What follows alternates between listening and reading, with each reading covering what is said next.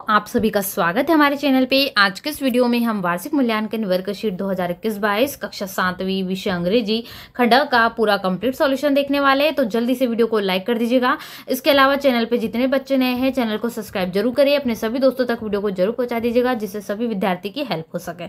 कक्षा सातवीं खंड एक सौ चौबीस तक के जितने प्रश्न आपको पूछेगा, उन सभी प्रश्नों को हम देखेंगे।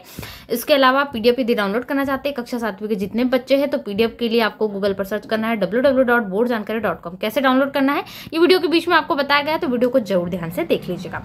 चलिए, पहला प्रश्न हम देख लेते हैं किस प्रकार से आपको यहाँ से वर्कशीट पर कार्यारंभ करना है, ठीक है? मल्टीपल चॉइस क्वेश्चन इसमें दिए गए हैं। यानी बहुविकल्पीय प्रश्न। प्रत्येक प्रश्न के लिए चार सही विकल्प दिए रहेंगे। इसमें आपको प्रश्नों को हल करना है। ठीक है? इसमें कुछ कुछ में आपको विकल्प नहीं भी दे होंगे तो भी आप इसको हल कर सकते हो। और ध्यान से पैसेज को समझना, क्योंकि आपको समझना ज़रूरी है। कल के पेपर के लिए बहुत काम आएगा। तो यहाँ पर आपको सबसे पहले पैसेज को अच्छे से पढ़ना ठीक है? क्या है passage the Olympic games are held after every four years ठीक है? जो ओलंपिक गेम्स होते हैं ना, वो हर चार साल के अंतराल में, हर मतलब अंतराल इनका चार साल होता है। प्रत्येक चार साल के अंतराल में आयोजित किए जाते हैं। ठीक है? Athletes come from all countries and take part in the games. जितने एथलीट है मतलब जो उसमें भाग लेते हैं, उनको एथलीट कहा जाता है, ठीक है? यानी कोई भी स्पोर्ट्स से जुड़ा हुआ हो सकता है वो।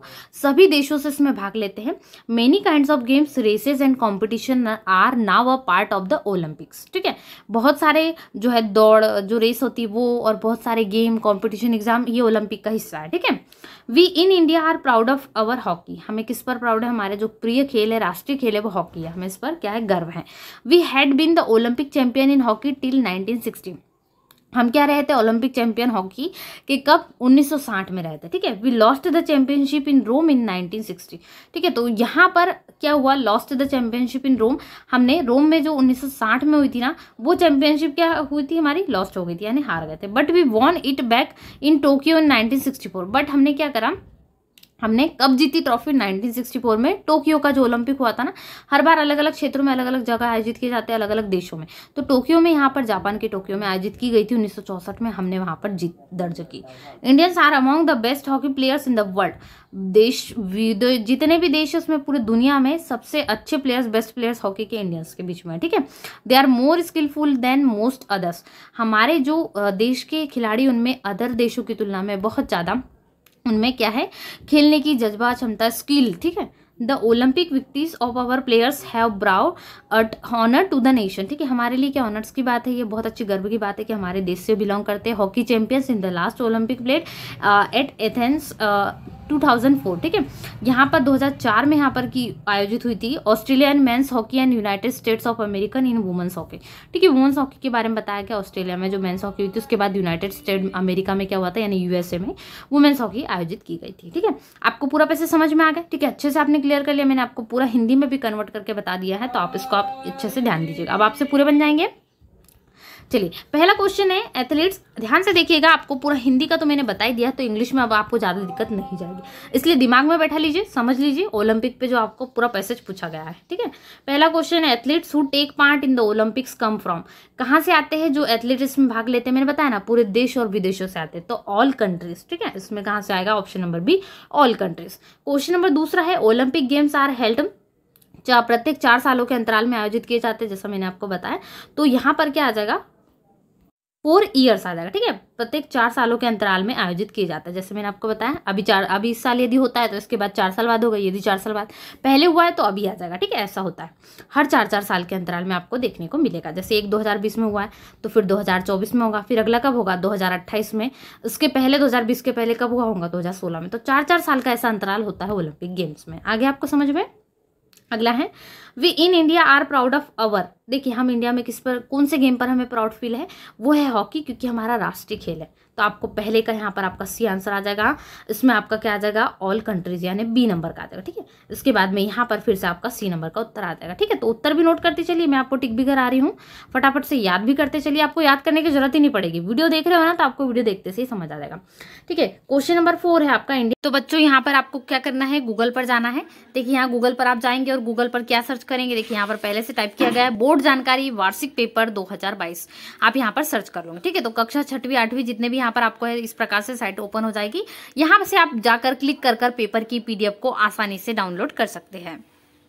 ठीक है, क्वेश्चन नंबर फोर है आपका। Indians are among the best players of hockey because they are more skillful. क्योंकि इसमें क्या है उन्होंने, उनके अंतर्गत स्किल बहुत ज़्यादा है। विदेशों के जो खिलाड़ी होते हैं, उनकी तुलना में यदि बात करें, पूरी दुनिया की तुलना में तो हमारे देश में स्किलफुल है हॉकी में।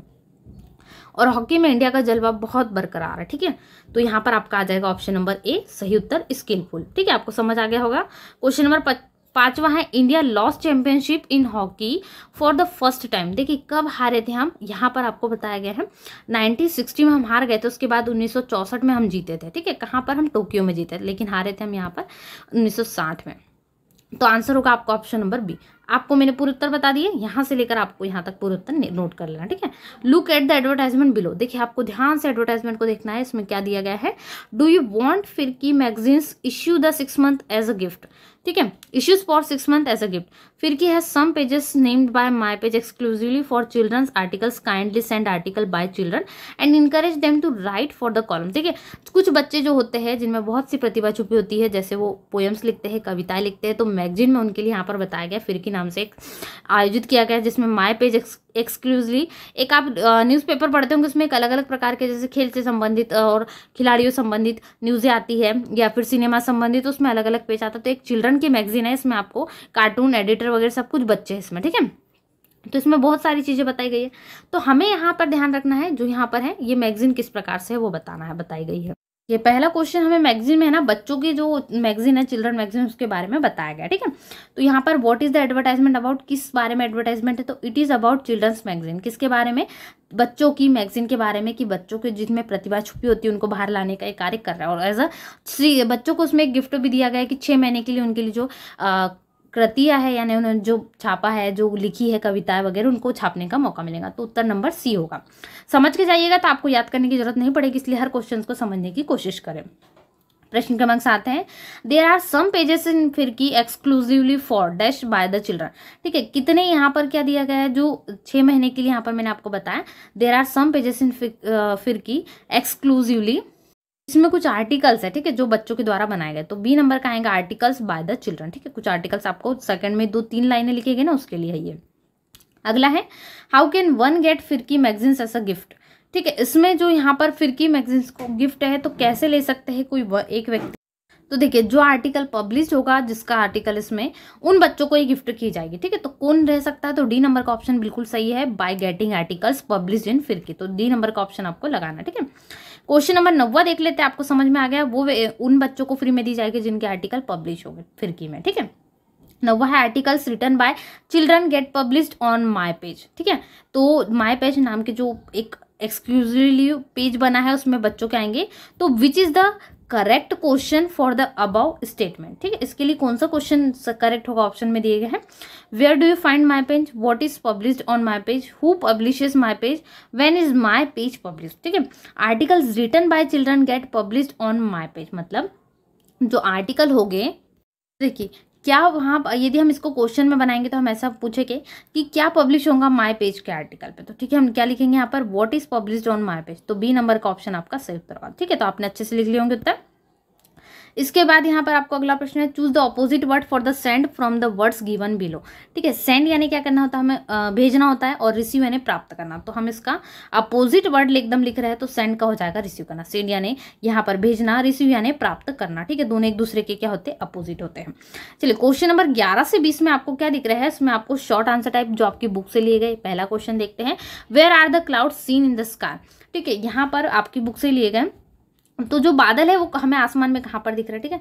इसके अलावा क्वेश्चन नंबर बारह why was Vinod surprise Vinod जो है, वो आश्चर्यचकित या सरप्राइज़ कैसे हो गया? और how did the old man know that the camel was blind ठीक है तो ओल्ड मैन को कैसे पता चला कि जो ऊट है वो अंधा है? ये आपको क्वेश्चन पूछे गए। तो यहाँ पर आपको और भी क्वेश्चन इसी में प्रकार से पूछे गए हैं। तब तक आप इन क्वेश्चन को अच्छे से हल करें, जितने मैंने आपको आंसर्स बताए, इन आंसर्स को अच्छे से नोट करें। तो बच्चों, आज के इस वीडियो में कक्षा सातवीं अंग्रेज़ी वार्षिक मूल्यांकन 2022 के लिए अच्छे से आर्टिकल्स को देखा, किस प्रकार से आपको एडवर्टाइजमेंट वगैरह पूछे जाने वाले हैं। जल्दी से इन वीडियो के, जो आपको सुन लेना है वीडियो को अच्छे से प्रैक्टिस करना है पीडीएफ डाउनलोड करना चाहते हो तो आपको वीडियो के बीच में प्रोसेस बता दी गई है। या फिर गूगल पर जाकर डब्ल्यू सर्च कर लीजिएगा, वहाँ से भी आपको पीडीएफ डाउनलोड हो जाएगी। तो मिलते हैं ऐसे नए वीडियो में। वीडियो को लाइक शेयर ज़रूर करें। अगले वीडियो में आपको पूरे, यहाँ पर पूरे कंप्लीट सॉल्यूशन आंसर के साथ में मिल जाएँगे। जल्दी से वीडियो को लाइक शेयर कर दीजिएगा। Thanks for watching